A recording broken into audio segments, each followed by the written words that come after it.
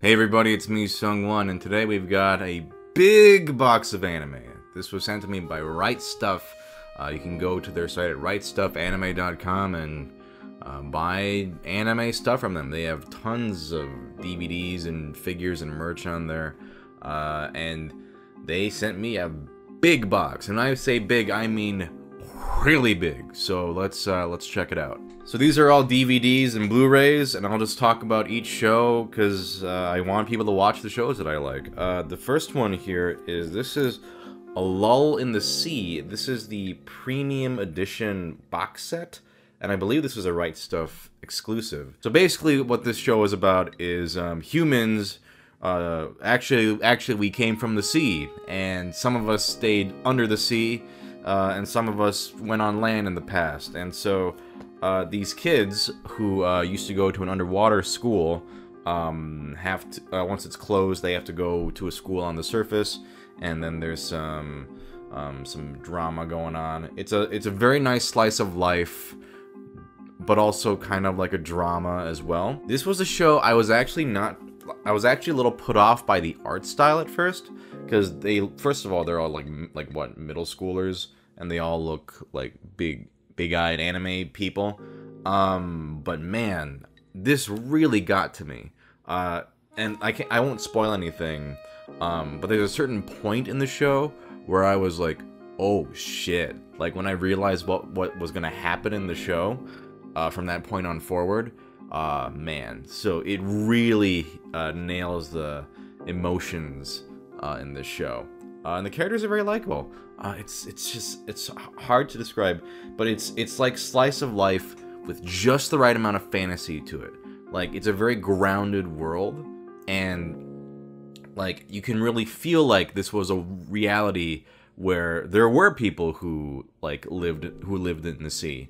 Um, like on on land, they have like water dispensary areas because you need to have like water to live if you're a water person. Uh, it's really interesting, so I highly recommend it. A Lull in the Sea. It's fantastic. Here's a show I haven't seen in a while, but I still love. It's uh, Black Lagoon. This is the first and second seasons on Blu-ray. Uh, they also sent me uh, Black Lagoon Roberta's Blood Trail, which was an OAV, uh, which was also quite good. Black Lagoon is about a bunch of mercenaries, um, part of the Black Lagoon Company. Uh, the main character is his name is his name is Rokuro. He's a Japanese businessman, um, and he gets uh, his ship gets like hijacked by Black Lagoon, um, and so they kind of recruit him into their gang, and he becomes uh, Rock, and it, it kind of shows um, how Rock sort of gets more hardened and starts slipping morally as it goes on. The city the show takes place in is this ridiculous city where like all the gangs uh, just meet like the triads and uh, the mafia, and they all just all of them are there. Um, there's a lot of fun characters. It's a very violent show, very action packed, and also is best girl. I mean, she's crazy, but I love her. Here's one I watched pretty recently and really enjoyed. This is Hyouka. Um, they sent me part one uh, and part two. The best way to describe this show, it's like um, a mystery solving show, but all the mysteries are like non-crimes. Like they're like minor mysteries, which sounds boring, but it's very charming. Uh, I think what helps is that the main two characters I adore. Um, the main girl is uh, Eri, or not Eri, Eru, and she's um, she's like obsessed with like curiosities and mysteries. And then there's Oreki, um, who is just like this guy's like, I don't care, I don't, I don't want to expend energy, I uh, just whatever. But when you combine them together, they are a lovable duo. Uh, I actually also really like um, Ibara.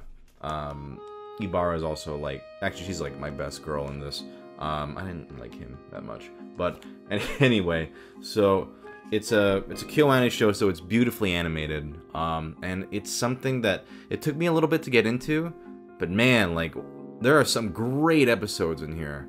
Um, some and some the mysteries are kind of episodic, but then they start doing some like longer mysteries, and it's genuinely like pretty engrossing. Um, I think it helps that the characters are so strong. Uh, so I would recommend this Hyouka I enjoyed this a lot. Here's a show that many of you are familiar with, I'm sure. It's My Hero Academia. This is season one. Uh, I enjoyed the show quite a bit. I just recently watched season two and loved it. Um, My Hero Academia is about super. It's like superhero Harry Potter, where the whole world has superpowers, and these kids want to be superheroes. Um, the action is superb. Um, it really does feel like Harry Potter, though, like in a very good way, because I love Harry Potter. Um, like there are instructors that like teach them how to like control their quirks and different like challenges that they face. And then every now and then shit gets real, and then some villains appear. Uh, but and yet you, it still all comes back to the school. If you haven't seen this, I mean, I'm surprised, but you should watch it. Like the designs are also fantastic. I mean, look at those character designs. Super fun show. This is basically the new Naruto in a good way. Here's a blast from the past. This is The Melancholy of Haruhi Suzumiya Seasons 1 and 2. So it looks like the episodes are in the 2009 rebroadcast order, which I don't necessarily agree with. I think the best way to watch this show, at least the first season, is to watch it in the original TV broadcast order, because the show is clearly formatted in a way that that is the best way to watch it. So I've, I've always wanted them to release, maybe they did in the past, I just didn't know about it, but one where the first season is in the TV broadcast order. Because uh, I don't, I didn't watch the 2009 rebroadcast, except the new episodes. So I don't know if it's, anyway, I don't know. I guess I'll find out. Anyway, it's a great show. Uh, it's an older show, older show, like two, early 2000s, but um, it's I think it's it's a really funny and interesting show. Like there's a lot of like can't spoil it. I don't want to spoil it, but there's a I mean you've had time to watch it if you were interested. But just in case you haven't seen it, it's about this girl named Haruhi, and I won't spoil anything, but she recruits like people she finds interesting, like alien like aliens and espers and time travelers in her school. Um, but how can I say this without spoiling it? I guess it's more than it seems. Uh, it, it, it seems like it just be a normal slice of life, but there is some supernatural elements going on in the show. There is some crazy shit that goes down in this. So uh, it's really good, and I, I absolutely loved the movie. This is the disappearance of Haruhi Suzumiya. Um, this kind of made me go, like oh i love this series. Um it like takes it to a new level of like emotional stakes. And again i can't really talk about this movie without because that, that beats spoiling too much of the show. The way it goes down i really liked this when i watched it but the movie i was like oh i love haruhi suzumiya. Anyway go watch haruhi. If you haven't seen it yet What's the hell your problem? On a semi-related note, here is Lucky Star. I say semi-related because they're both KyoAni and uh, the main character is voiced by Aya Hirano. Um, but Lucky Star is also... This is one I actually watched pretty recently, maybe like last year. Uh, for the first time. I just never really watched it, and I really enjoyed it. It is extremely laid back, extremely slice of life. It's just a cozy ass show, though. Like the girls are very cute. Um, it's something that I don't know. It's just a cozy show. I don't need all my shows to be super deep or super what's the word? Super emotionally involving. Sometimes I just want to watch some funny some funny stuff go down. Sometimes I just want to watch uh, fun interactions. What I like about Lucky Star is that it does really feel like the characters are hanging out, that they're just chilling, which I don't think a lot of anime can really capture that feel. Um, but I think Lucky Star does a good job. And there's some genuinely funny stuff in here. I just really like Lucky Star. Shut up. Let's continue on the cute, cute girls doing cute shit train. Here we have K-On! Here's season one right here. Uh, they also sent me season two in two parts. Um, and then they also sent K-On! the movie. Uh, if you haven't seen K-On!, K-On! is about um, some high school girls who want to start a music club, uh, start a band, and so um, they form together and practice together and drink tea and eat snacks, and uh, it's extremely slice of life. And yet, it's KyoAni, and the direction is quite good. Like, I recently read some of the manga for the first time, and man, the anime is so much better. It really takes kind of mediocre subject material and elevates it to just beautiful, a beautiful show. yeah, you definitely don't want to watch this if you really want a deep, engrossing plot. But as far as slice of life goes, it's one of the best. I think I really enjoy it. It's just purely enjoyable to watch these characters interact, and man, it's so cute. Here's a very obscure title I don't think a lot of people saw. I think it's called Attack on Titan. Uh, I, just, I think this slipped under everyone's radar, but if you're not aware of the show, um, basically there are these big monsters called Titans. Believe it or not, they eat people. Nut, that's nuts. Um, and so this guy, um, uh, Aaron Paul here, uh, he has to try to, to defeat the Titans because uh, he's real tired of them eating folks. So anyway, I, I, I, just wish people had seen this. It's just this, a hidden gem, I think. Uh, but anyways, really good action. This was actually, okay, uh, I'll drop the bit. This was a show that I intentionally didn't watch when it was airing. I watched it way later, like maybe like a year or two ago for the first time. And I was like, oh, yeah, it's really good. Because uh, I, I was kind of put off by the hype train. Um, but it's the action's good. The it, it goes at a nice brisk pace, and the characters are cool. It's just a fun show. Like they're like the parts where they're flying through the air and fighting. Like it's very thrilling. Uh, so I enjoyed Attack on Titan quite a bit.